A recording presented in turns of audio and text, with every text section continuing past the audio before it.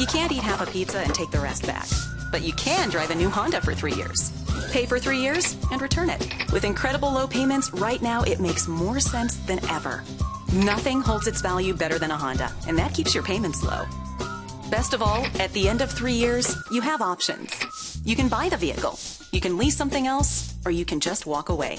Any way you go, leasing a Honda makes sense.